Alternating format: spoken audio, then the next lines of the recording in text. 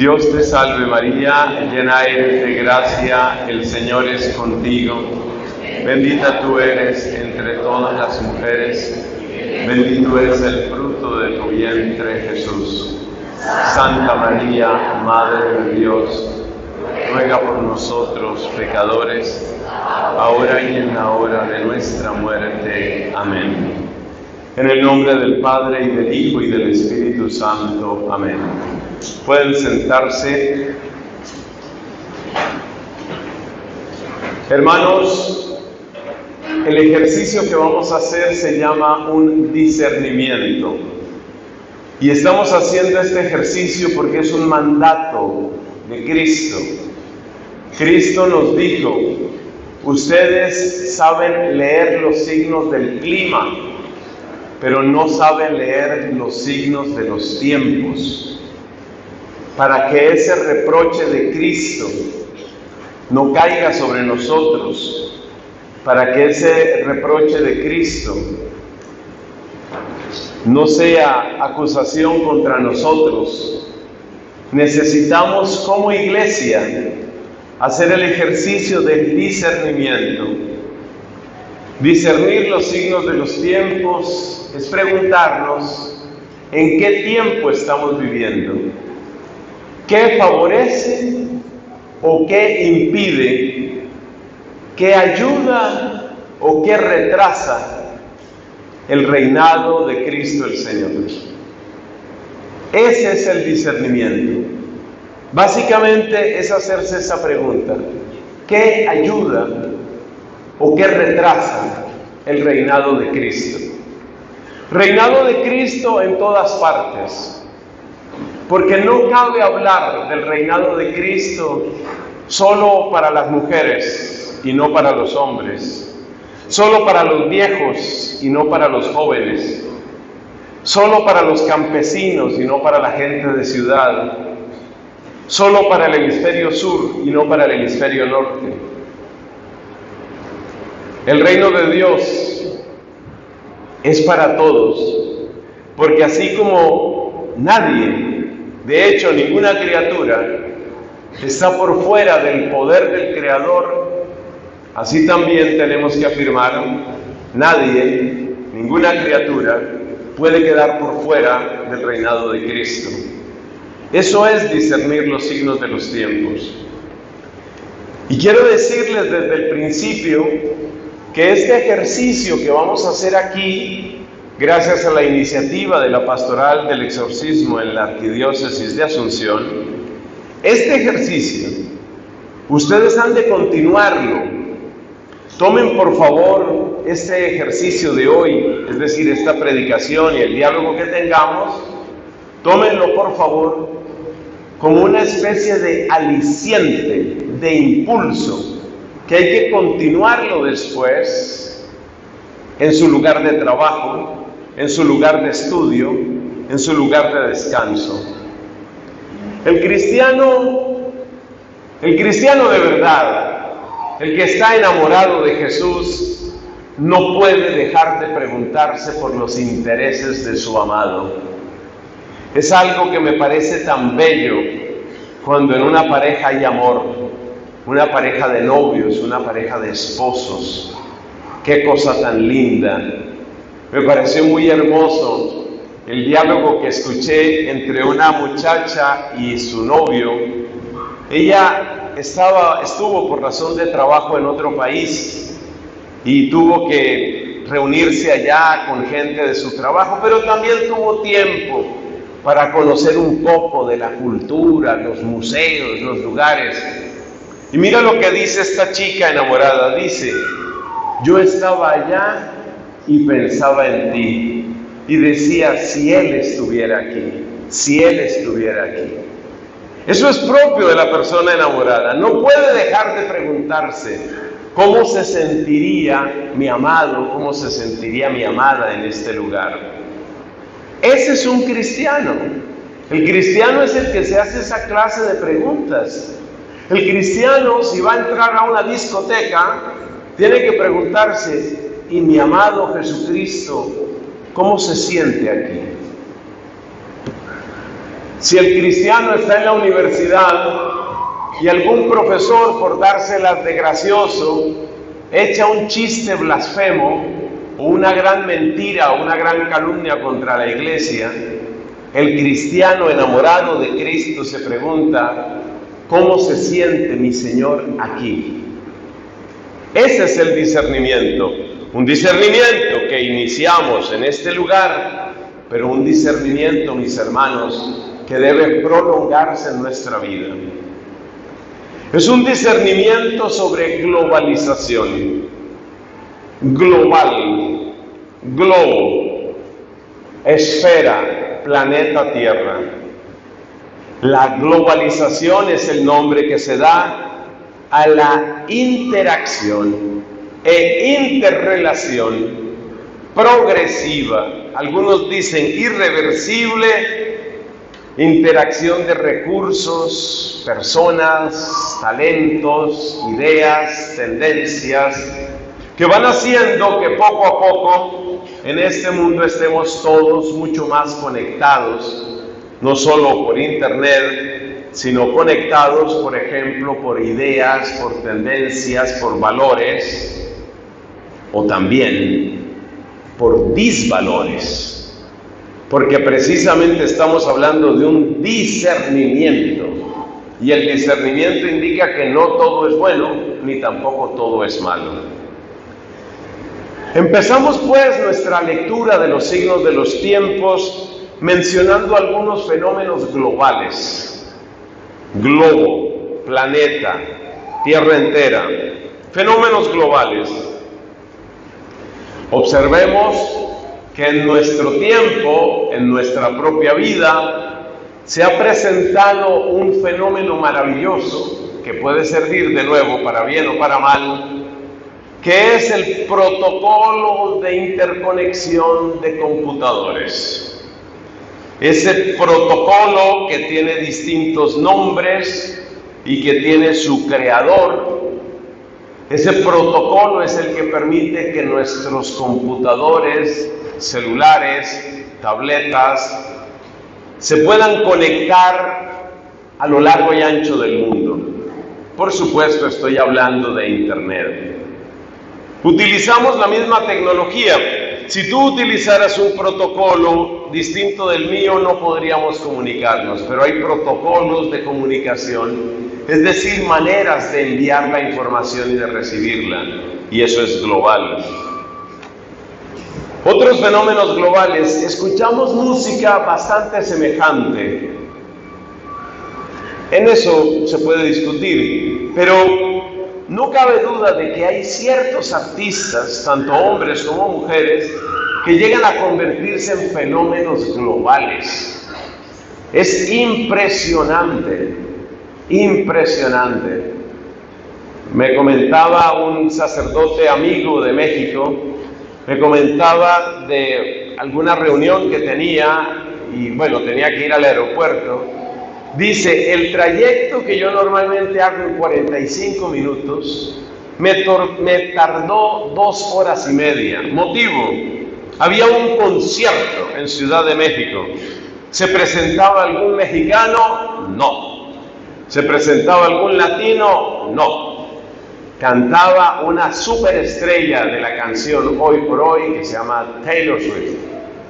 Entonces, donde llega esta mujer, pues se producen tremendas congestiones, atascos de tráfico. Y ella estaba cantando no en su país, estaba cantando en México, pero lo mismo le pasa a ella si va a Buenos Aires, lo mismo le sucede si va a Corea, lo mismo le sucede si va a París. Es decir, que hay fenómenos artísticos que traspasan las fronteras y se entusiasman hasta las lágrimas los fanáticos de Taylor Swift, igual en Tokio, en París, en Buenos Aires o en Ciudad de México. Vemos películas semejantes, admiramos a las mismas celebridades, pero lo que más nos va a preocupar aquí, porque lo otro podría ser anecdótico, es que se van proponiendo y se van aprobando las mismas leyes en los más diversos países. Y aquí es donde el cristiano tiene que empezar a abrir los ojos. A mediodía respondió una llamada telefónica de los amigos de Radio Cáritas y me pidieron que resumiera un poco de qué se iba a tratar este encuentro tan bello que estamos teniendo. Y yo les decía, es como un despertar. Porque el cristiano tiene que despertar y tiene que darse cuenta.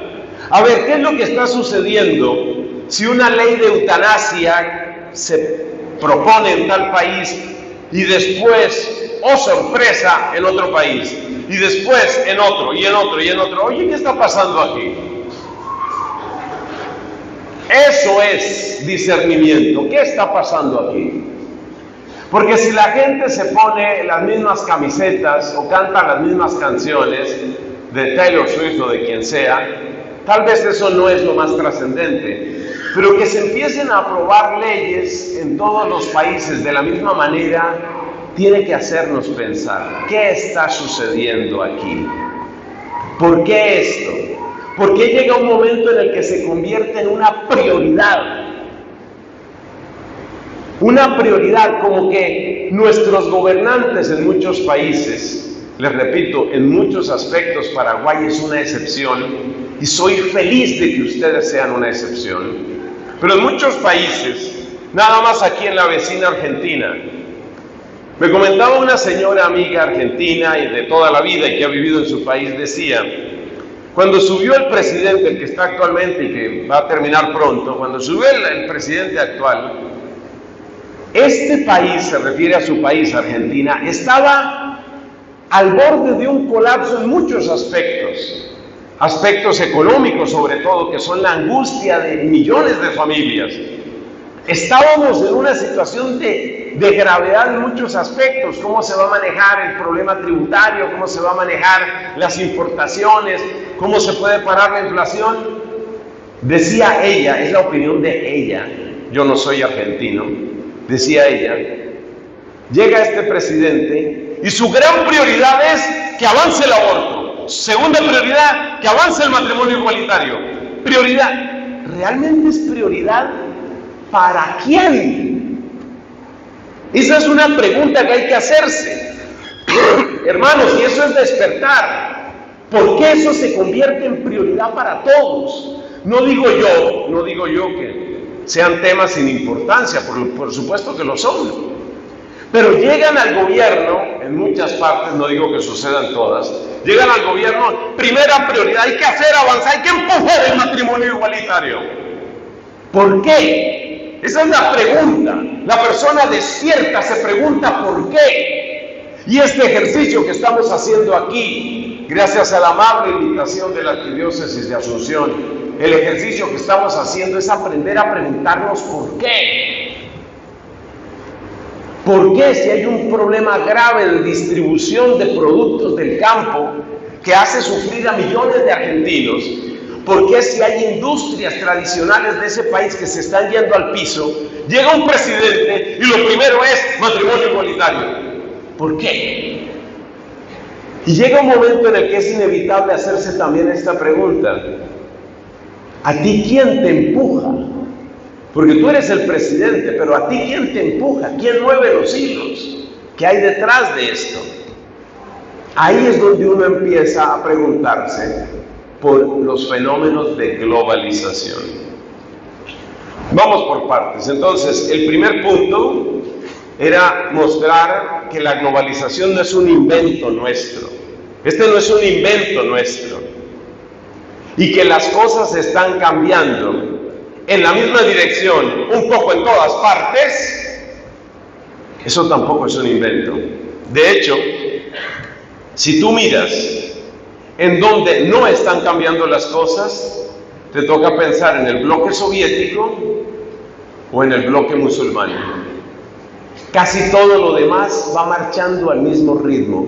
¿Quién nos pone de acuerdo y para dónde nos quieren llevar? Ese es el tipo de preguntas que uno tiene que hacerse. Bueno, esa fue la primera parte. Vamos a la segunda parte. La segunda parte requiere bastante atención de todos los aquí presentes. Vamos a hablar de los mecanismos de difusión.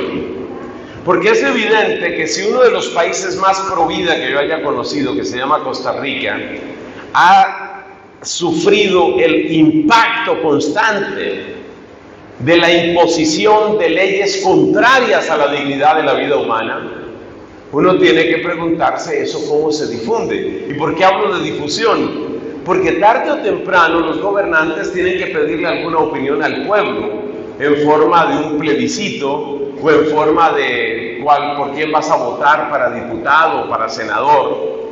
En algún momento hay que consultar al pueblo. Entonces la pregunta también es, ¿quién convence al pueblo? ¿Cuáles son los mecanismos de difusión?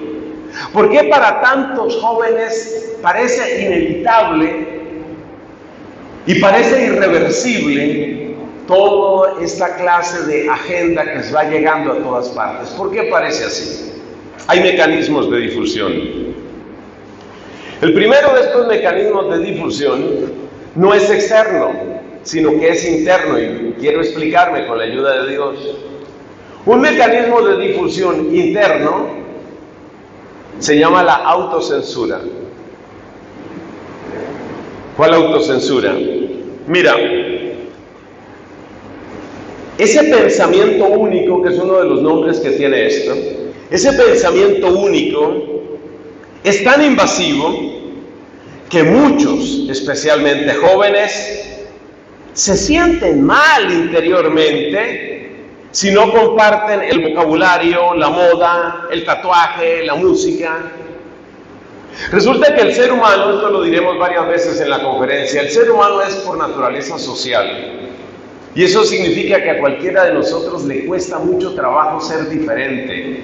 Lo que nos han dicho los papas desde Juan Pablo II, Benedicto XVI, ahora el Papa Francisco, todos, todos los papas en las jornadas mundiales de la juventud, de una manera o de otra siempre les dicen a los muchachos, tengan presente que ustedes deben ir contracorriente, contracorriente. Pero esto es muy difícil, es muy difícil ir contracorriente. Y por eso el primer aliado en la difusión de esta globalización es la autocensura, el temor a ser diferente, el temor a disonar, que en el fondo es el temor a ser excluido, a ser señalado. Antes de que otras personas exteriormente pretendan dominar nuestra mente, muchos, especialmente jóvenes, se autocensuran. Es decir, empiezan a callar sus convicciones, empiezan a ocultar lo que de verdad creen que es valioso. La Biblia nos cuenta en varios lugares que esta actitud es muy común en el ser humano. Así, por ejemplo, en el primer libro de los Macabeos, se cuenta que cuando hubo una globalización de aquel tiempo, que fue el avance del imperio helenístico, llámase imperio helenístico, a la herencia que quedó de las grandes, o sea, muy amplias conquistas de Alejandro Magno.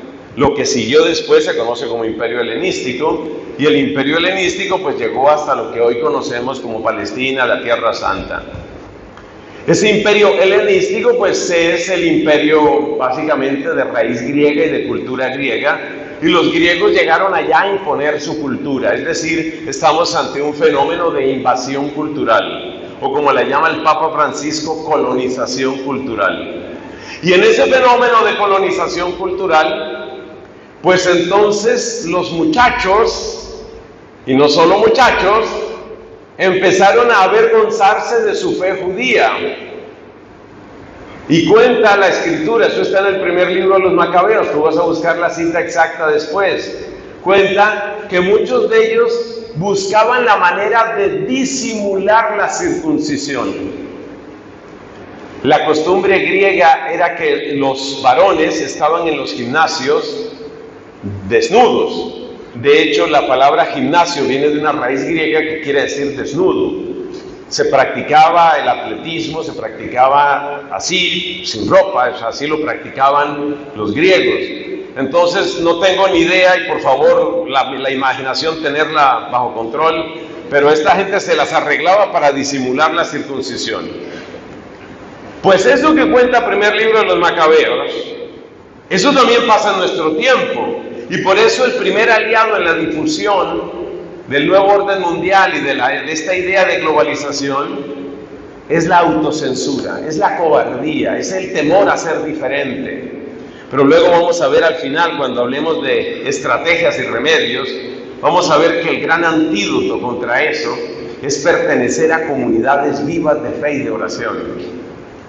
Y para mí, yo no temo que un joven sea joven, no temo que esté en la flor de la vida con todo su impulso, como se dice a veces, con todas sus hormonas, no le tengo miedo a las hormonas. Yo le tengo miedo a esta joven que está solo, a ese sí le tengo miedo. El que no tiene comunidad, el que se aisló de su familia y no tiene comunidad, ese es el que tarde o temprano lo envuelve en estas redes. Entonces, primer aliado, primer aliado en el tema de esta globalización, la autocensura, el miedo a ser distinto. Luego tenemos las redes sociales y el mundo de las celebridades. Y en esto nuevamente encontramos a los jóvenes y especialmente las jóvenes.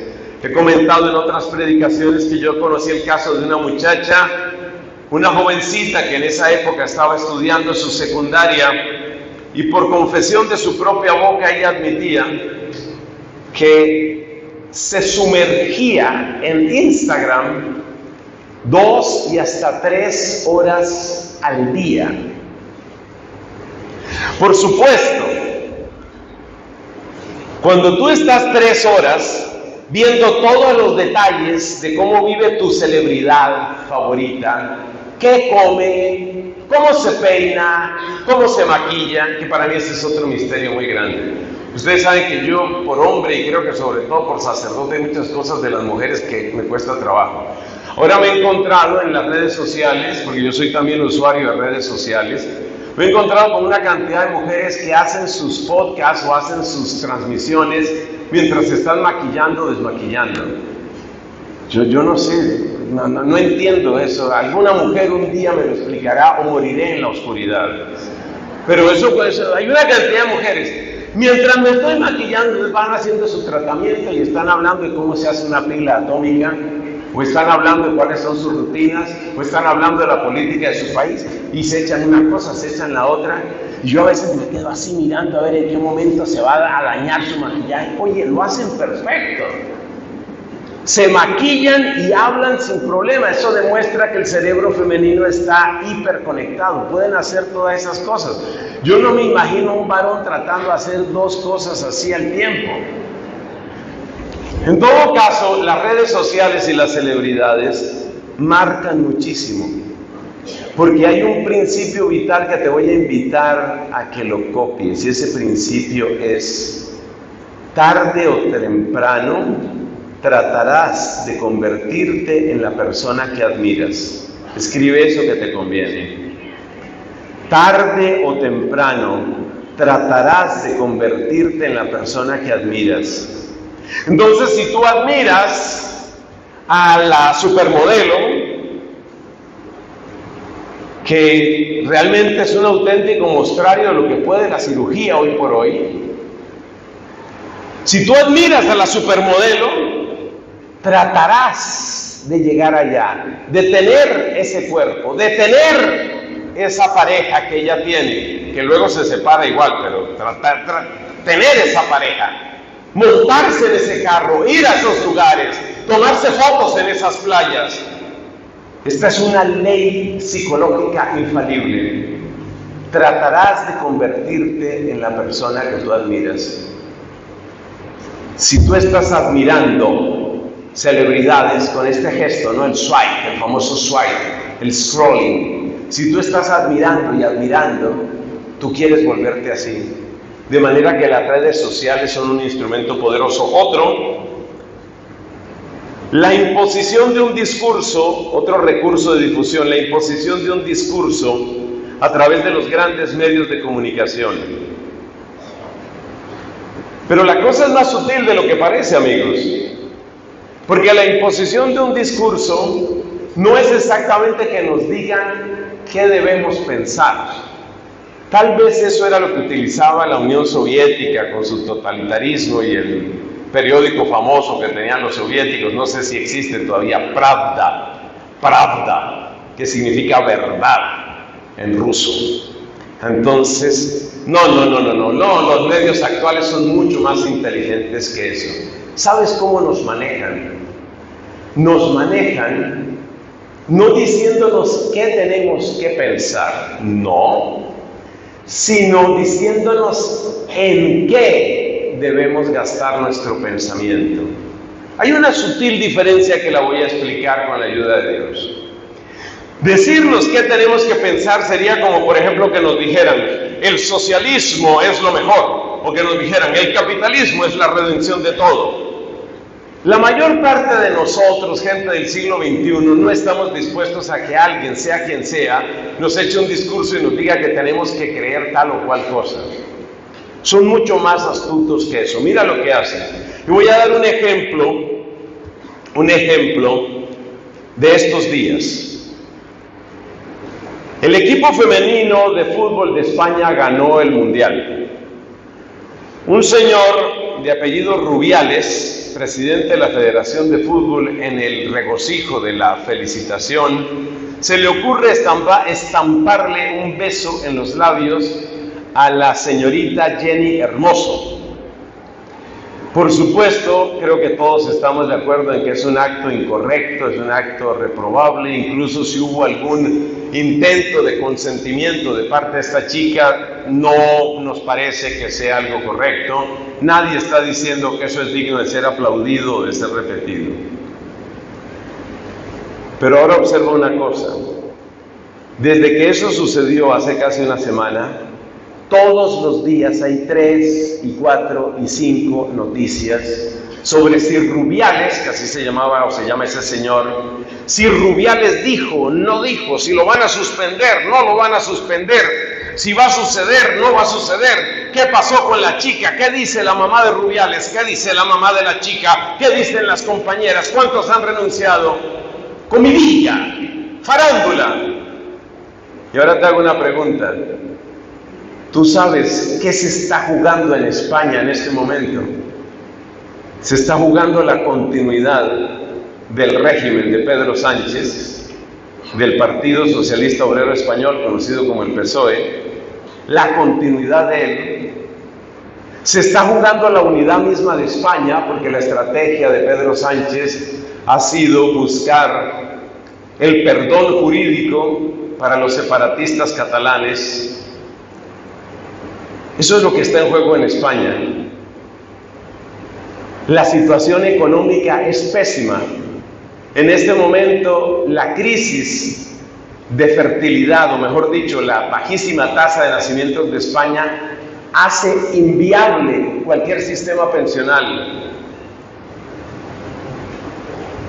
La llegada de migrantes en grupos de 100, de 200, de miles, mensuales a las costas españolas no paran. Y frente a todos esos problemas, la única noticia que importa es que Rubiales besó en los labios a la chica de apellido hermoso. Yo quiero que te des cuenta cómo nos manejan. No es que nos digan, tienes que pensar esto. No, no, no. No, te dicen el contenido, pero sí te dicen el tema. Por favor, sutileza. No te dicen el contenido, pero te dicen el tema y te ponen a pensar en el tema. De manera que el 80%, estoy exagerando quizás, de las noticias en ciertos días todo es, ¿y qué pasó? Que si la besó, que si no la besó, que si le obligó, que si le torció mucho la cabeza o poquito. Repito, si tengo que decirlo claro, fue incorrecto, jamás debió suceder, está claro. Pero ¿por qué hay que seguir dando vueltas y vueltas en eso? Yo te diré por qué. Porque es necesario que la gente esté dando vueltas ahí, porque es necesario que la gente piense y piense en eso, porque es necesario que la gente no piense lo que no quieren que la gente piense. Ese es el verdadero motivo. Entonces los actuales medios de comunicación tienen ese poder, el poder de decirle a la gente en qué tiene que pensar. No te dan el contenido, pero te dan el tema. Y cuando tú te quedas con el tema, dejas de pensar en los contenidos y entonces resuelven ellos las cosas como ellos quieren. Es una estrategia de dominación impresionante y muy sutil. Y la gente entra en eso. La gente entra en eso y entonces hablas tú con una chica que puede ser una chica argentina, peruana, panameña, mexicana, y la chica considera que va a cambiar el mundo logrando la renuncia Rubiales. Mientras no renuncie Rubiales, el mundo es un lugar asqueroso. Cuando renuncie Rubiales, el mundo será un lugar despejado, limpio, paradisíaco, digno de ser vivido. Y todos los problemas ardiendo. Pero ¿sabes quién fue el primero que se metió en eso? Que no tiene un pelo de tonto. Pedro Sánchez. Apenas sucedió lo del beso ese, entró Pedro Sánchez a decir que eso iba en contra de la dignidad de la mujer. ¿Por qué entra él ahí? ¿Le interesa demasiado un beso en los labios? No, él sabe lo que está haciendo con eso. Y los medios de comunicación hacen coro detrás. Entonces, esto significa que para salir de esa especie de encanto maléfico de los medios de comunicación, uno tiene que desarrollar una gran suspicacia, una suspicacia no solo para preguntarse si la noticia es verdadera, sino para preguntarse si la noticia es digna, digna de ser pensada, digna de ser discutida. Para quienes están tomando apuntes, escriban esa frase que no la tengo ni siquiera yo aquí. No solo hay que preguntarse si la noticia es verdadera, hay que preguntarse si la noticia es digna, porque muchas veces la estrategia no está en decirte qué tienes que pensar, sino decirte en qué tema tienes que pensar, para que todo el discurso se vaya ahí. En el fondo es lo mismo que una cortina de humo. Eso se llama imposición de un discurso o exclusión de un discurso. ¿Qué otro mecanismo, qué otros mecanismos de difusión tiene esta globalización que está al servicio del nuevo orden mundial? Las donaciones o préstamos con condiciones. Exactamente lo que ha estado sucediendo estos días aquí en el Paraguay. Y por eso yo estoy feliz de la respuesta que está dando hasta este momento el Paraguay. Porque la Unión Europea pretendía hacer en parte donación y en parte préstamo, no sé si todo era donación, para la educación del Paraguay. ¡Oh, qué generosos se han vuelto! Pero ¿cuáles son las condiciones que eso tiene? Son los préstamos y los regalos amarrados. Y ese es un medio de dominación. Pocos países, pocos países han tenido la valentía que está mostrando hasta este momento el Paraguay uno de esos países fue Kenia. Resulta que en una grave crisis que incluía agricultura y problemas de inflación y de todo esto, Kenia pide ayuda a los Estados Unidos y Estados Unidos le dice, sí, claro que te vamos a ayudar, por supuesto que te vamos a ayudar. Claro que te vamos a ayudar. Necesitamos, eso sí, para que el dinero llegue allá, necesitamos que ustedes quiten esta, esta y esta ley y pongan en cambio esta, esta y esta otra. Esos préstamos o regalos con condiciones son una estrategia importantísima, es decir, potentísima de penetración. He conocido el caso de República Dominicana, el caso de Kenia y el caso del Paraguay. Pero como estoy aquí en Paraguay y como me siento orgulloso de lo que ustedes han hecho a ese respecto, les pido el favor de que se den un sonoro aplauso, porque eso es lo que tiene que ser en Paraguay. Y es muy importante, y es muy importante, que es otra de las estrategias que vamos a mencionar después, es muy importante que ustedes tengan siempre conexión con sus legisladores. Si usted conoce a alguno de los diputados o senadores que desde el principio se opuso a que el Paraguay recibiera dinero amarrado, dinero con condiciones, si usted conoce a uno de esos diputados, mándele un mensaje y felicítelo, no ahora, pero mándele el mensaje. Una de las estrategias importantísimas en este asunto es mantener el contacto directo porque lo que ha sucedido en muchas democracias de nuestro continente es que después de que la gente logra el puesto, la oficina, el escritorio, el computador, la secretaria y el sueldo, se olvidan de quién los eligió. No se puede perder contacto con los legisladores. Cuando el legislador esté traicionando lo que prometió usted y muchos más tienen que escribirle. Porque los políticos, hermanos míos, los políticos viven de nuestros votos.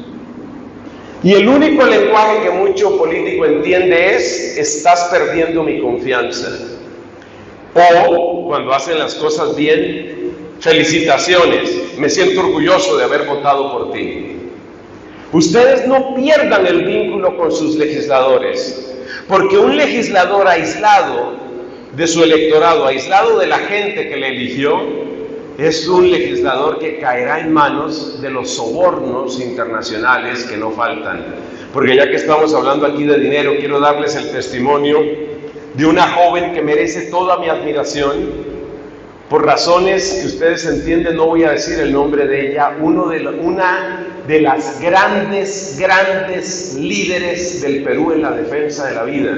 Ustedes saben que las marchas pro vida en Perú llegaron a marcar un estándar, un nivel altísimo en todo el continente.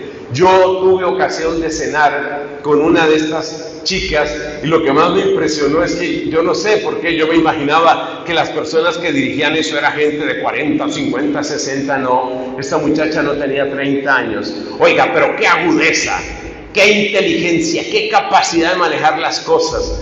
Una de esas mujeres que uno dice, mira, con unas cuantas de estas le damos la vuelta a la agenda de globalización impuesta que nos quieren poner. Pues esta chica metiéndose en el Parlamento del Perú de aquel tiempo me decía, yo he visto cómo les hacen lobby a los legisladores, repartiéndoles regalos, dándoles dinero, ganándoselos entonces usted, amigo paraguayo, y, quienes después escuchen estas palabras, usted tiene que permanecer en contacto con su diputado, con su senador. Usted tiene que hacer sentir su voz en esa, en esa oficina. Usted tiene que decirle, me decepciona usted porque prometió esto y no lo cumplió. Cuando ellos sienten que tienen que rendirle cuentas al electorado, son más difíciles de sobornar, de sobornar por los poderes internacionales. Y eso está en manos de ustedes, pero hay que organizarse mucho. Otros elementos de difusión, vamos a ir cerrando este tema. Por supuesto, la legislación que empieza a imponer pues todas estas eh, nuevas normas y sobre todo la legislación que empieza a penalizar el comportamiento que se considera indeseable. Cuidado con eso. La legislación que empieza a penalizar. Entonces al principio es, por dar un ejemplo real, el principio es, tenemos que respetar los derechos de las personas homosexuales. Yo creo que todos podemos estar de acuerdo con eso, dependiendo de qué se entienda por derechos. Pero después viene otra ley. Vamos a castigar cualquier delito que vaya en contra de ellos. ¿Te das cuenta el cambio? Entonces la legislación, la legislación va haciéndonos cada vez más cobardes, más cobardes. Y por eso hay muchas personas que prefieren no meterse en estos temas e incluso he conocido sacerdotes, especialmente en otros países, sacerdotes que dicen yo en eso no me meto, no quiero problemas con el obispo, no quiero problemas con el gobierno. Mecanismos de difusión de estas agendas, los textos de educación. Pero gracias a Dios, los padres de familia están despertando. Y le han hecho en México, por ejemplo, le han hecho tanta presión a sus legisladores. Ustedes saben que México es una república federada y hay por lo tanto parlamento en cada estado. Pues mire lo que pueden los padres de familia cuando se organizan. Y yo no espero menos de este hermoso Paraguay. Mire lo que pueden. Resulta que a nivel federal el gobierno, a través de un organismo que se llama la SEP, supongo que Secretaría de Educación Pública tal vez, empezó a impulsar unos textos de formación afectiva y sexual. Básicamente, cómo pervertir a los niños desde su más temprana edad. Pues los padres de familia esta vez no se quedaron quietos. Y ya son, no sé, no sé en este momento si son 10, 12 o 13 ya estados de la República Mexicana donde los parlamentos han dicho aquí no se va a difundir eso. Pero ¿cómo empezó todo? Pues empezó porque padres de familia dijeron, con mis hijos no te metas, tú no eres quien va a, a lavarle la cabeza, que ojalá fuera a lavarle, a ensuciarle la cabeza a mi hija o a mi hijo. Me parece tan aberrante lo que contenían algunos de estos textos que no voy a dar ni un solo ejemplo, ni un solo ejemplo, pero son aberrantes. Usted puede buscar textos SEP en, en internet, por supuesto se refiere a México, y usted puede ver las acciones, algunas de ellas incluso extremas, que han tomado los padres de familia, porque dicen, oye, yo en qué momento le regalé mis hijos al gobierno. Es que eso es lo que necesitamos, que la gente tome esa conciencia. Por último, dentro de todos estos recursos, que son muchos, no, enumero todo lo que tengo aquí porque, porque el tiempo no nos da, pero mira esto, ¿sabes qué está ayudando mucho al nuevo orden mundial? Las búsquedas fallidas de coherencia o de aceptación por parte de algunos líderes sociales o religiosos. Esa frasecita que está como un poco complicada necesita una explicación. Quiero darla. Búsquedas fallidas de coherencia. Estos son dramas que yo he visto en sacerdotes. Ustedes saben que los sacerdotes estamos llamados a una misión que incluye muchas renuncias.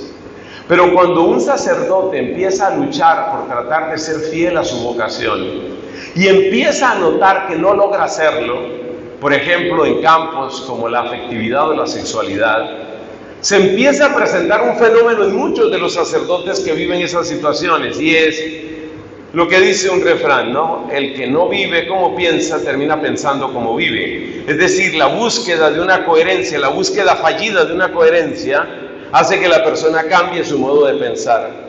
Y entonces por eso, por ejemplo, en mi país tenemos una cantidad de sacerdotes varios de ellos de comunidades religiosas muy conocidas, defendiendo todos los temas de género y todo ese tipo de cosas.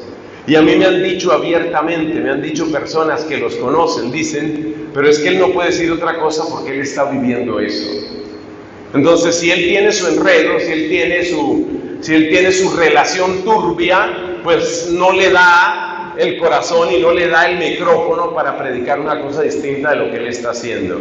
Y de esa manera tenemos a sacerdotes en muchas partes del mundo que predican cosas contrarias a la fe de la iglesia, básicamente ¿por qué? Pues básicamente porque han tenido una búsqueda fallida de coherencia. Pero también está una búsqueda fallida de aceptación, y esto es lo que a veces sucede con algunas religiosas. Cuando yo les decía fuera de cámara, les decía a todos ustedes, oren por mí. Uno de los motivos por los que les pido oración es porque, de un modo que para mí es en parte inexplicable, la popularidad en términos de números de este servidor ha ido creciendo. Ha ido creciendo. Si Dios no dispone otra cosa y si no sucede ningún accidente, este año debería estar llegando yo al medio millón de suscriptores en YouTube. Este año. Y créeme que hay un peligro en esos números, porque yo ya he visto a religiosas y a sacerdotes que cuando tienen un gran, una gran audiencia, empiezan a pensar no como sacerdotes ni como religiosas, sino como cantantes. ¿Me explico? Ustedes saben que un cantante no canta lo que a él le gusta. El cantante, dice el, el refrán popular, el cantante se debe a su público. Entonces hay sacerdotes que a los que la popularidad, la necesidad de aceptación les comió el sacerdocio. Hay religiosas a las que el gusto de tener centenares de miles de seguidores les comió la vocación y entonces sienten que no pueden decir algo que sea impopular. Entonces, como hoy resulta muy impopular enseñar lo que es la doctrina de la iglesia de 20 siglos y lo que está clarísimamente, por ejemplo, en el catecismo de San Juan Pablo II, bendita la memoria de San Juan Pablo II, yo en estos hay días en que me despierto con escalofrío y no es gripa, no es resfriado, es solo de pensar qué tal que no tuviéramos el catecismo. Ustedes se imaginan dónde estaría la iglesia en este momento. Entonces, mis hermanos, hay religiosas que se vuelven tan populares en redes sociales y hay sacerdotes que se vuelven tan populares en redes sociales que no quieren defraudar al honorable público, no quieren defraudar a su gente. Y cuando no quieres defraudar a la gente, terminas defraudando a Dios. Escribe eso que te conviene. Cuando no quieres defraudar a la gente, terminas defraudando a Dios. La frase no es mía, la frase es de San Pablo. San Pablo dice textualmente, si yo quisiera agradar a los hombres, ya no sería discípulo de Cristo. Entonces nosotros no podemos vivir del agrado, del aplauso, de los likes, del número de seguidores. Años atrás sacaron un video cortico que también lo publicaron en formato GIF, famoso formato GIF, GIF. Sacaron un videito cortico que me encantó porque era Jesús en Twitter, Jesús nuestro Señor en Twitter. Y entonces Jesús en Twitter aparecía el número de seguidores, ¿no?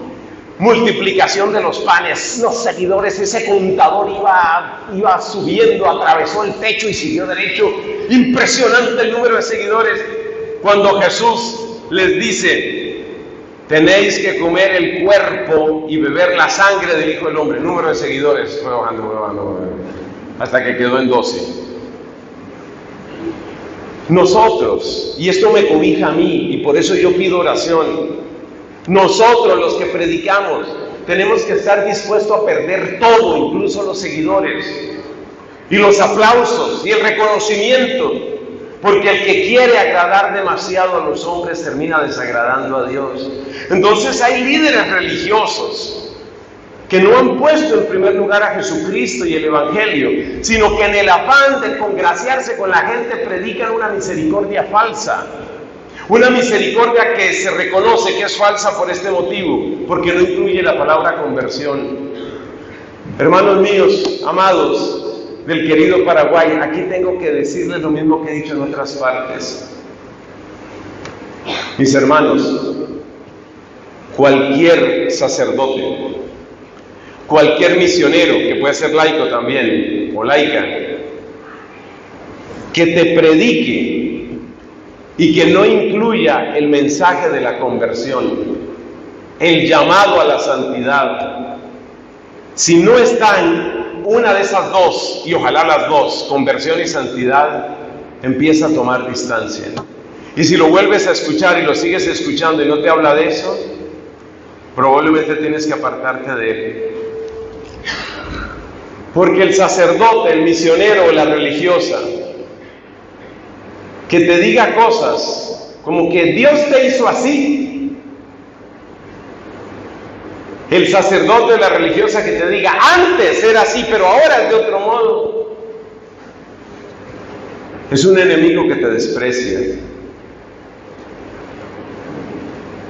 Te voy a explicar por qué en medio minuto. Si yo tengo que preparar un evangelio especial para ti, porque eres homosexual, si tengo que preparar un evangelio especial para ti porque estás en adulterio, si tengo que preparar un evangelio especial para ti porque vives en fornicación, si tengo que preparar un evangelio especial para ti porque te gusta drogarte, ¿sabes lo que te estoy diciendo? Lo que te estoy diciendo es, como tú no puedes con el evangelio de verdad, aquí te preparé este evangelio de mentiritas el que te da un evangelio mutilado, el que quita el mensaje claro de la conversión, el mensaje claro del llamado, del servicio y de la santidad. El que mutila el evangelio y te da un pedazo de evangelio mutilado, te está despreciando, te está diciendo, como no puedes con el evangelio completo, le quité las partes que no te gustan y ahí lo tienes. Pues ese muñón, ese muñón de evangelio es un desprecio a Cristo y es un desprecio a ti. Pero eso pasa en la iglesia. Eso pasa en la iglesia. Y esas personas se van convirtiendo cada vez más en aliados de esta globalización que estamos denunciando. Ahí termina nuestra segunda parte, vamos con la tercera. No les digo cuántas partes son. Vamos con la tercera parte. Necesitamos una visión de conjunto, ya te digo por qué. En cierto sentido, la globalización es inevitable. Si tú lees con atención el libro del Apocalipsis, te das cuenta que en el Apocalipsis se habla de dos globalizaciones. La globalización de la perversión, representada en la ciudad de Babilonia, Babilonia la corrupta, y la globalización de la santidad manifestada en los que siguen al Cordero donde quiera que vayan. El libro del Apocalipsis nos presenta dos globalizaciones.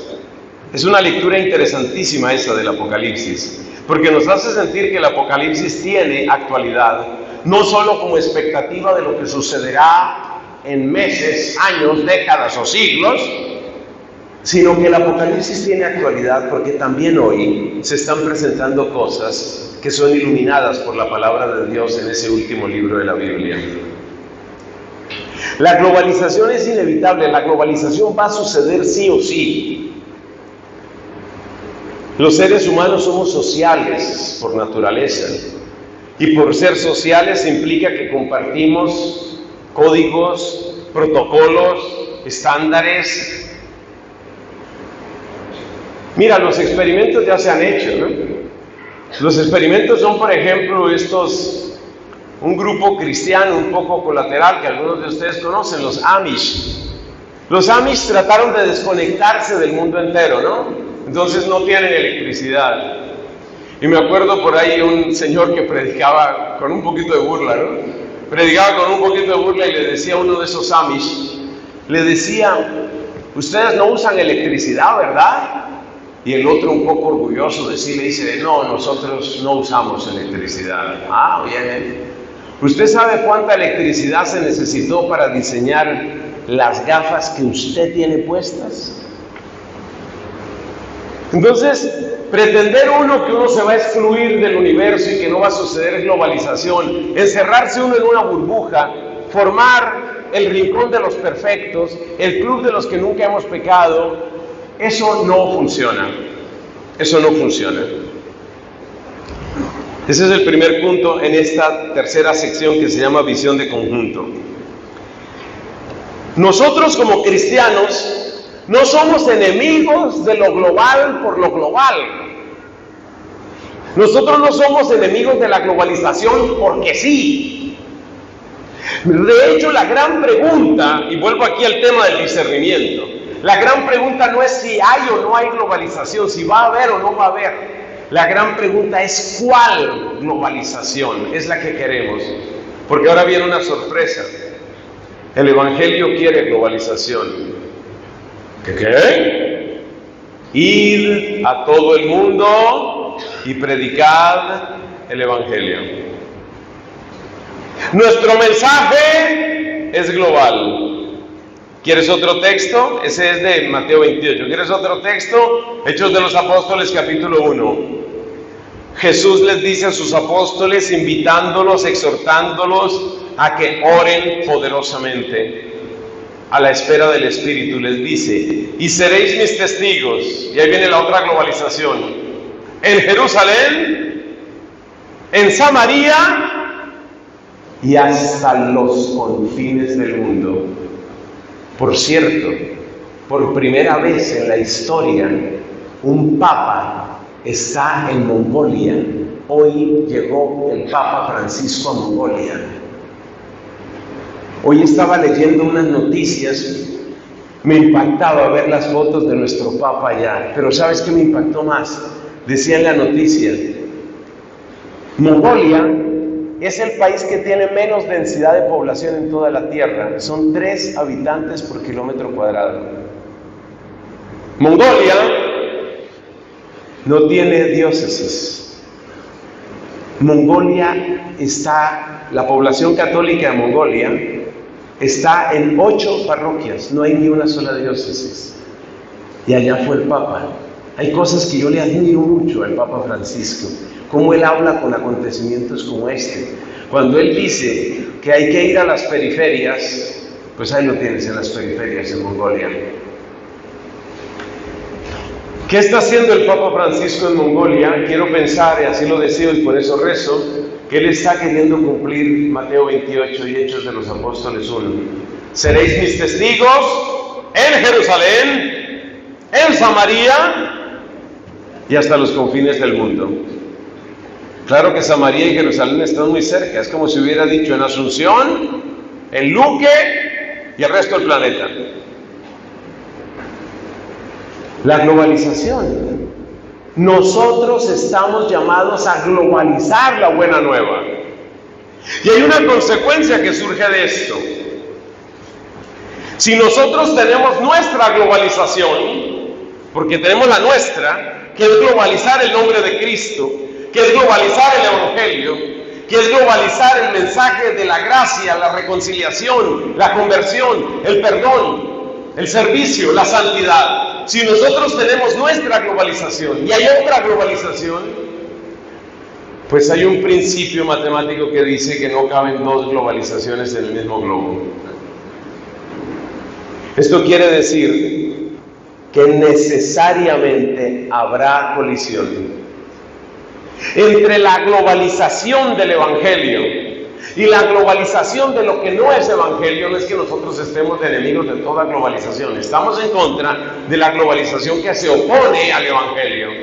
Pues entre la globalización del Evangelio y la globalización del anti-Evangelio, no cabemos, no cabemos.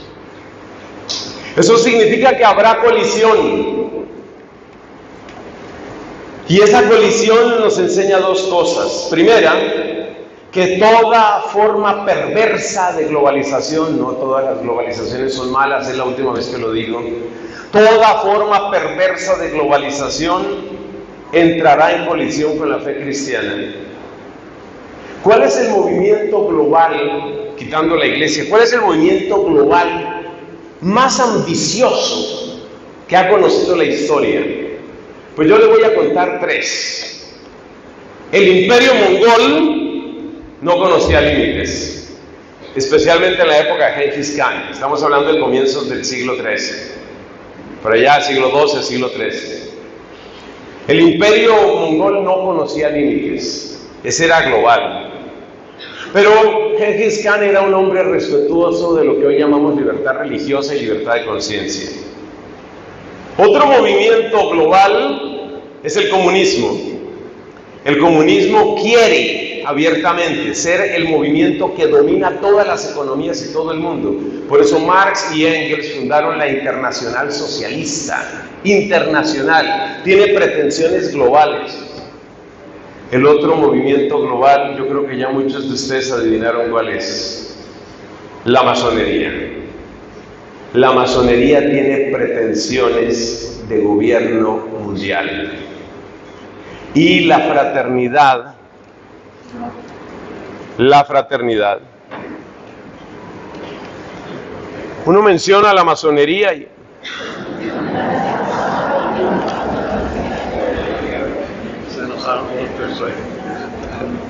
¿Aló? Mis hermanos, entonces nuestro problema no es con la globalización, claro que no. Pero sí tenemos que saber que una globalización sin Cristo entrará en colisión con una globalización en Cristo, por Cristo y para Cristo. Y la globalización que nosotros queremos, espero que todos los que estamos aquí la globalización que nosotros queremos es en Cristo, con Cristo y para Cristo. Eso no subsiste, mis hermanos. No pueden subsistir dos globalizaciones de esa manera. Pero esto también significa otra cosa. Y es que todo cristiano está llamado a formarse en estos temas. Todo cristiano tiene que saber que tendrá alguna cuota de batalla en estos temas. Tiene que saberlo. A veces de una manera inesperada. A veces te puedes encontrar que en un colegio resulta que hay un muchacho que ya está haciendo escuela para la masonería con este grupo que se llama Demolay o Demolay. Y ya está haciendo escuela para masón. Y tú no te habías dado cuenta y tal vez ese muchacho ya está metido en eso y es tu compañero y se sienta ahí y está todo el día contigo. Entonces hay que saber cómo suceden las cosas y hay que saber que esas confrontaciones van a existir. Y te digo más, no es que nosotros excluyamos a las personas. Ese no es nuestro oficio pero que tenemos que tener claridad sobre cuáles son las personas y qué creen las personas que tenemos cerca. Me comentaba un amigo aquí en el vecino país que también quiero mucho de Bolivia, he ido muchas veces a predicar a Santa Cruz y me comentaba un amigo de Santa Cruz que un amigo de él de toda la vida, de esos de jugar el fútbol, ir al asado, pasarla bien, un amigo de él de toda la vida le resulta un día con una invitación precisamente para un grupo masón. Y a raíz de eso, este amigo que les cuento, el amigo mío, muy convencido, súper convencido de lo que es la fe católica, y él no va a entrar por allá. Pero ¿sabe lo que me decía? Que él le preguntó al otro, al masón, le preguntó, ¿y tú hace cuánto que estás ahí? No sé cuál era la cifra exacta, pero eran más de cinco años. Y estaba ahí el amigo. Te repito, no se trata de excluir a las personas, pero tú tienes que saber con quién estás y tienes que saber qué te toca, qué te toca, cómo obrar. Uno de los documentos más cortos del Nuevo Testamento es la carta de Judas, de San Judas Tadeo. Y, ese documento, la carta de Judas, dice que hay gente con la que uno no tiene la capacidad de tratar. Hay gente de la que uno tiene que apartarse. No porque Dios los vaya a condenar. Dios verá qué hace con ellos. Pero uno no puede con todo. Uno no puede con todo. Entonces nosotros tenemos una globalización. Y nuestra globalización es la globalización del nombre de Cristo. Esa globalización tiene un estribillo que muchos de ustedes conocen y muchos de ustedes aman. Hace 100 años era el grito con el que morían muchos en México y se llama Viva Cristo Rey. Ese es el grito. De gritar Viva Cristo Rey. Y de hecho la celebración misma de Cristo Rey es una celebración global. Entonces yo me pregunto cuántos sacerdotes predican esto. Y me pregunto cuántos laicos cuando llega la fiesta de Cristo Rey están entendiendo que esta es la fiesta de la globalización cristiana. Porque el mundo es para Cristo y la gloria es para Cristo. ¿Cuántos lo tienen claro? Porque si no, ¿a quién está sirviendo? Cristo decía, no se puede servir a dos señores. Hermanos, esto incluye una cierta confrontación. Pero hay algo que hay que tener claro, no es la primera vez que sucede. Yo tengo aquí una lista de confrontaciones, grandes confrontaciones con globalizaciones perversas. En el imperio romano, los raros eran los cristianos y los romanos querían que adoráramos a sus dioses, así fuera por el gesto puramente externo de echar un poco de granos de incienso en un pebetero frente a la estatua del emperador. Ellos también querían imponer lo suyo y todo el mundo tenía que pensar igual. Para los romanos, tú podías, oiga esto tan inteligente, para los romanos tú podías agregar tus dioses, pero no podías decir que tus dioses eran los únicos.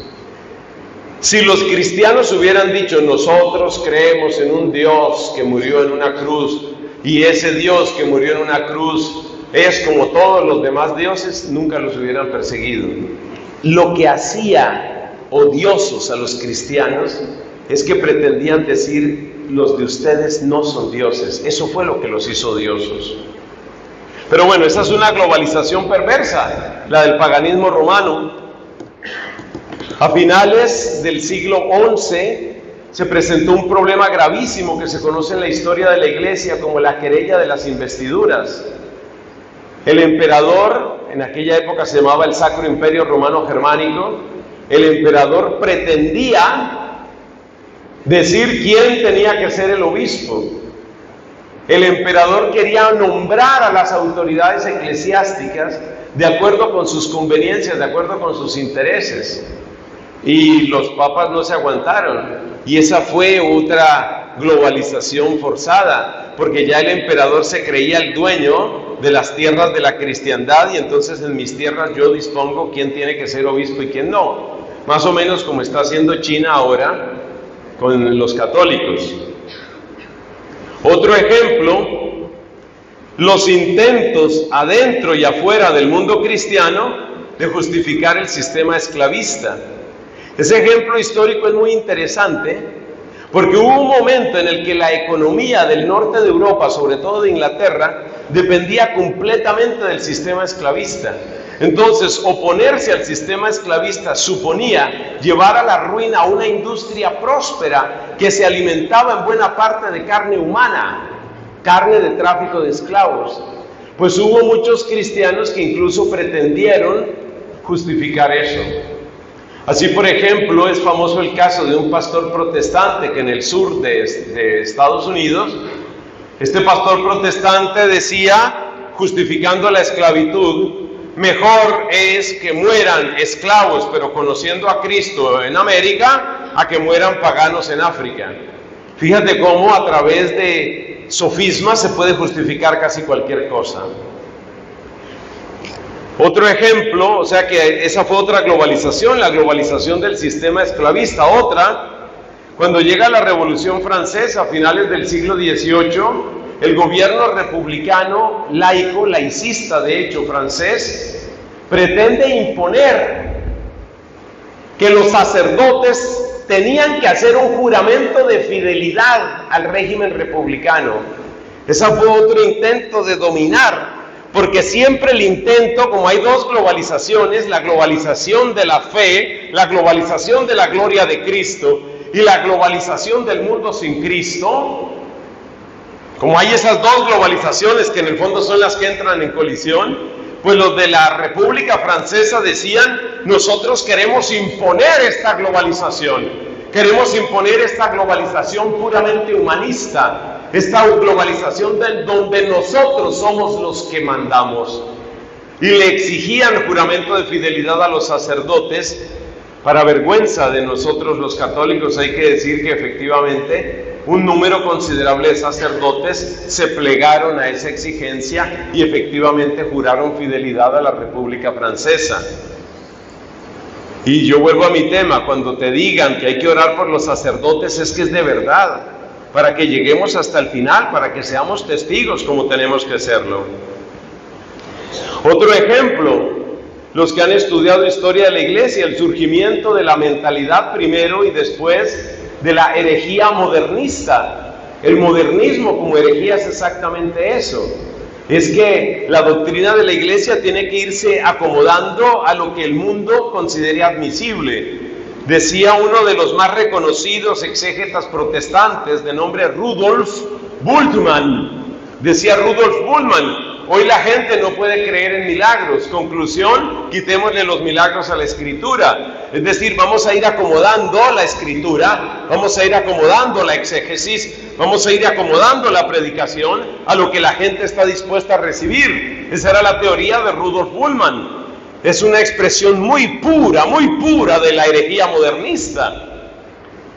Y mucha gente sigue hablando con grandes elogios de Rudolf Bullmann. Por supuesto que era un hombre muy inteligente y tiene aportes interesantes, pero frente a semejantes herejías yo he escuchado gran silencio, óigase la paradoja, también de parte de autoridades en la Iglesia Católica. ¿En qué estamos? Luego hay que recordar, dentro de esto del choque de globalizaciones, hay que recordar el surgimiento de los campos de reeducación en la Unión Soviética. Si tú te manifestabas cristiano, lo que hacía la Unión Soviética era decirte, mira, parece que tu cerebro no trabaja bien, vamos a llevarte a un lugar para que pienses con cabeza fría, muy fría, extremadamente fría, lo llaman Siberia. Vamos a llevarte allá para que en el frío de Siberia tu cerebro aprenda a pensar por qué Dios no existe la religión es un engaño, la iglesia es la gran estafa y solo el comunismo es bueno. Vamos a llevarte así, ay, te moriste. Bueno, pero moriste en el camino de la pravda, en el camino de la verdad.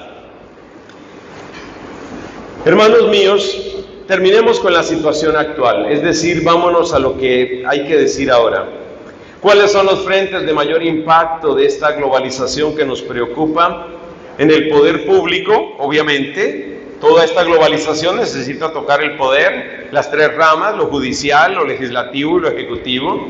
Es curioso porque la mayor parte de la gente cree que el gran poder está en el ejecutivo, es decir, en el presidente. No, mis amigos.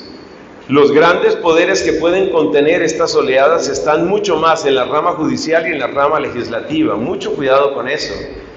El presidente puede gritar, desgañitarse, exigir, hablar, para bien o para mal. Si no tiene el aval de constitucionalidad de la rama judicial y si no tiene un respaldo legislativo, no va a poder hacer nada. Uno de los espejismos en los que hemos vivido en América Latina es creer que el gran poder lo tienen los presidentes, es decir, el poder ejecutivo, falso de toda falsedad. Lo que hay que cuidar en primer lugar es la rama judicial y la rama legislativa. Y eso es igual en Colombia, eso es igual en Perú, eso es igual en Paraguay o en cualquier parte. Entonces hay que tener en cuenta eso, son los frentes de mayor impacto. Luego hay que tener mucho cuidado con otro frente de gran impacto que es la educación. Acuérdate cómo el presidente Sonrisas, López Obrador, que siempre tiene un apunte y un gracejo aún ante las peores tragedias que vive ese país, el presidente este de las sonrisas, pues eh, mientras está sonriendo y congraciándose con todo el mundo, está imponiendo los textos que van a pervertir los corazones de tu hija y de tu hijo. Eso hay que tenerlo claro, por favor. La educación es un frente claro y uno tiene que saber dónde están los frentes, tiene que tenerlo claro. Los grandes medios de comunicación son un frente constante. Ya vamos a comentar qué podemos hacer nosotros. Y el otro, el último frente que quiero mencionar y que es un tremendo espacio de cultivo de la globalización perversa es la cultura del individualismo y sobre todo del entretenimiento pasivo. Si tuviera tiempo, pero esto da para otra, para otra conferencia, hablaríamos del tema del entretenimiento pasivo. Lo que más está matando la iniciativa, el vigor, la capacidad de organización, la gallardía, la conciencia de, de lucha en los jóvenes es el entretenimiento pasivo. La manera de volver a una chica, de volverla una inútil, es someterla a entretenimiento pasivo. La manera de volver un inútil a un chico, a un joven, es someterlo a entretenimiento pasivo. ¿Qué es entretenimiento pasivo? El que te llega enlatado. Lo que tú oyes y oyes y oyes. Tú te sientas y ves y ves y ves y ves. Entretenimiento pasivo significa Nuevo orden mundial, adoctrínenle cuando quieran y tú mismo pagas el servicio de suscripción. Entretenimiento pasivo. Si tú quieres saber qué tan vendidos están tus hijos al nuevo orden mundial, pregúntate cómo están en entretenimiento pasivo. Es terrible, porque frente al entretenimiento pasivo, la predicación pierde casi toda su eficacia, casi toda. Siempre le queda un plus de poder a la palabra de Dios. Pero frente al entretenimiento pasivo es muy difícil luchar. Y por eso los que tengan hijos pequeños, por favor, todavía están a tiempo. No permitan que sus hijos tomen una actitud pasiva que se llama scrolling o que se llama zapping. Todo eso le ponen nombres en inglés o que se llama simplemente sofá y tarde de Netflix. Ver una película, por supuesto que puede estar bien, oír una buena canción está bien, pero tener el audífono aquí a todas horas es como invitar a la globalización a que te enseñe cómo tienes que vivir. El entretenimiento pasivo es un frente muy grande de daño y el pueblo católico no toma conciencia de esto. Y yo sigo viendo en restaurantes de todos los niveles, desde los más altos hasta los más bajos, sigo viendo a papás, tíos, tías, empleadas, abuelos, que para tener tranquilo al niño, una pantalla. Tener tranquilo al niño, una pantalla. Por Dios, no hagan eso más. No hagan eso más. Ustedes están entregando a sus hijos y a sus hijas al nuevo orden mundial si los someten a un régimen de entretenimiento pasivo. Porque una de las características del entretenimiento pasivo es que es profundamente adictivo. La persona que se acostumbra a pasar una tarde con lo que llaman, con ese nombre tan engañoso, una maratón. Estamos haciendo maratón de Netflix, estamos haciendo maratón de HBO, estamos haciendo maratón de Disney Plus, una maratón, ¿sabes qué significa? Que estás creando adicción. Porque una vez que tú, es más o menos como la persona que se acostumbra a que todo el tiempo le tienen que cocinar. Eso es lo que sucede con el entretenimiento pasivo. Cuando una persona se acostumbra a que todo el tiempo le tienen que cocinar y traer y ponérselo a la mesa, cocinar y traérselo y ponérselo a la mesa, cocinar y traérselo y ponérselo a la mesa. Yo conocí el caso de un señor que no cocinaba nada, todo tenía que hacerlo la mujer. Y una vez la mujer estaba en no sé qué vueltas, llegó a casa a las 5 de la tarde para encontrarse con un hombre que parecía más una fiera, a regañarla a ella y el motivo era, no he podido almorzar. Toda la comida estaba ahí. No, no he podido almorzar. ¿Por qué? Porque ella es la que tiene que preparar. Y si no me la prepara y me la trae aquí, me la pone en la mesa, yo no almuerzo nada. Porque tampoco podía pedir, tampoco podía llamar a ningún servicio. Sé que es un caso extremo y creo que esos casos se presentan cada vez menos. Pero mis hermanos, ese es el entretenimiento pasivo. Y hay que luchar contra el entretenimiento pasivo porque te acostumbra a que tu cerebro solo existe para ser mimado, el entretenimiento pasivo es especialmente perverso en los niños y en los jóvenes, pero hay que tener cuidado con los abuelitos y las abuelitas, porque ¿sabes qué pasa? Que también a nosotros, los que ya tenemos cierta edad, también a nosotros nos hacen la misma operación. ¿Y eso qué significa? Que aunque tú hayas sido católico de toda la vida, tú te sometes a un régimen de meses y meses de entretenimiento pasivo, y te voy a decir lo que termina sucediendo tú terminas aceptando casi cualquier cosa. Ay, no, no le pongamos tanto drama a eso. Pues sí, mira, los tiempos han cambiado. Ahora mi nieta tiene novia. Las cosas han cambiado. Sí, las cosas han cambiado, pero primero te cambiaron a ti tu cabeza. Y te cambiaron tu cabeza con ese pocotón de series que estabas viendo una tras otra. No digo yo que no se pueda tener entretenimiento, porque siempre hay gente que dice, ese padre es un fanático, es un exagerado. No digo yo que no se pueda, pero por favor ponle límite a eso. ¿Qué tenemos que hacer los creyentes? Informarnos, esto que estamos haciendo aquí, formarnos, esto que estamos haciendo aquí y que hay que seguir haciendo. Hermanos, nosotros tenemos que orar y tenemos que hacer penitencia. La Virgen no estaba haciendo chistes cuando habló en la Salet, cuando habló en Fátima y en otros lugares sobre la necesidad de la oración y la penitencia. Hay que hacerla. Tenemos que hacerla. Penitencias pequeñas o grandes, según salud, según circunstancias, según oficios.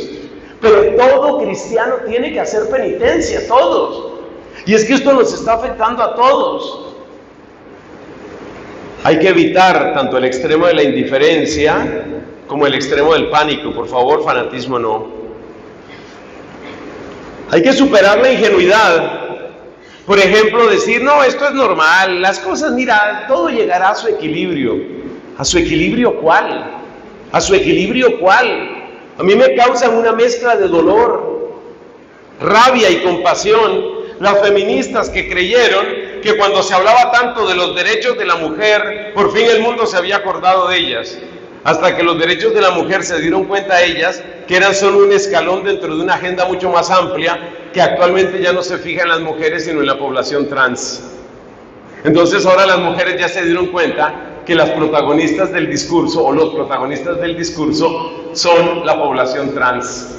Entonces ahora las mujeres se sienten estafadas y las mujeres dicen, oye, ¿y el feminismo que yo conocía? El feminismo de la vieja guardia, ¿qué pasó con ese feminismo? Niña tonta, te estaban usando, siempre te usaron de principio a fin. Tú eras un escalón, ya, ya te superaron, ya están en otra cosa. Por favor, por favor, ingenuos no. Ingenuidad no. Atentos a esto, no responder con la misma moneda, nada de agresiones. Yo digo aquí en público, como he dicho en otros lugares, no comparto, no comparto que se le ponga a un libro el título generación de idiotas. No comparto eso. No comparto que se diga el socialista es una bolsa de estiércol. Rechazo, rechazo con todas mis fuerzas esa clase de lenguaje. Y esos dos lenguajes se han oído bastante en Argentina. Algunos se sigue oyendo en este momento. Eso no sirve. Eso no solo no es cristiano, sino que no es estratégico. Si no te mueve que yo te diga que no es cristiano, por lo menos que te mueva que te estoy diciendo que no es estratégico. Rebajarse al insulto, rebajarse a la acusación, no es estratégico. Hay que tener mucho cuidado con la información que divulgamos. Hay que tener respeto al buen nombre de las personas, que es un derecho humano fundamental, así como hay que tener respeto al principio de presunción de inocencia. Mucho cuidado con esto, hay que tener gran cuidado con eso. Porque les digo una cosa, y con esto termino las actitudes de los creyentes. Les digo una cosa, los que no estamos de acuerdo con la agenda globalista perversa, somos espiados. Somos espiados, a nosotros nos espían.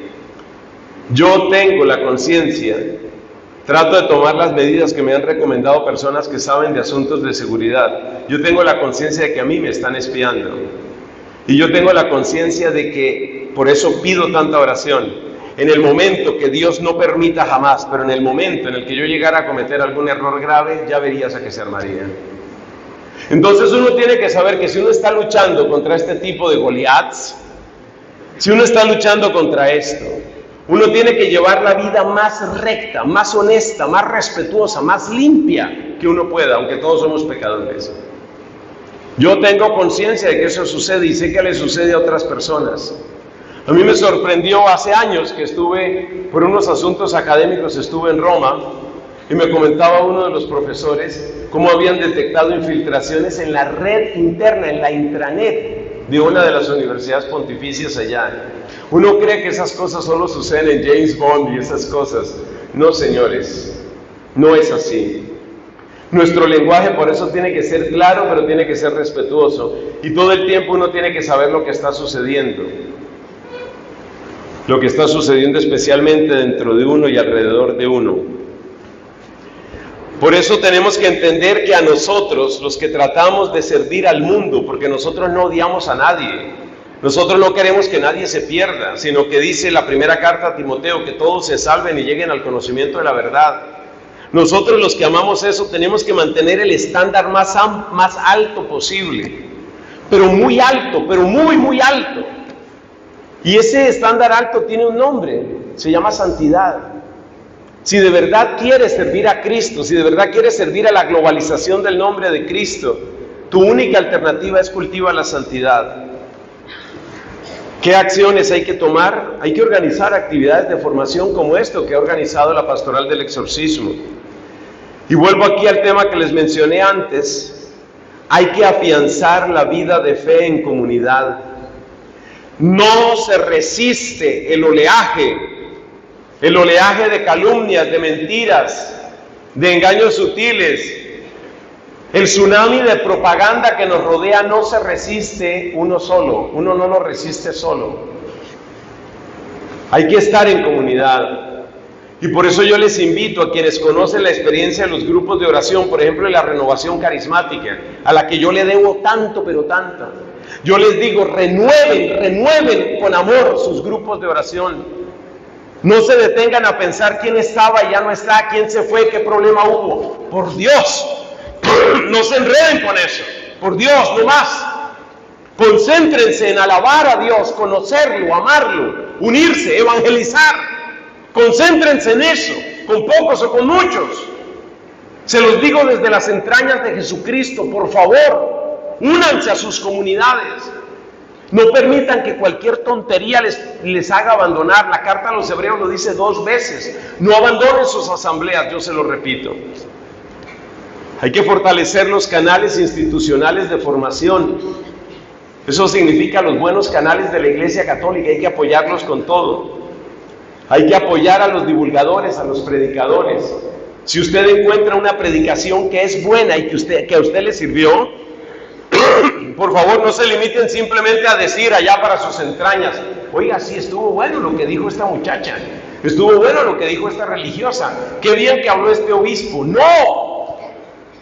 Si usted vio que un obispo hizo una buena predicación, envíele eso a sus 500 contactos. Mire cuántos contactos tiene usted en el teléfono. Mi teléfono dice que tengo más de 2.000 contactos. ¡Wow! No me lo puedo creer ni yo mismo. Envíele, envíele a sus contactos. Difunda eso.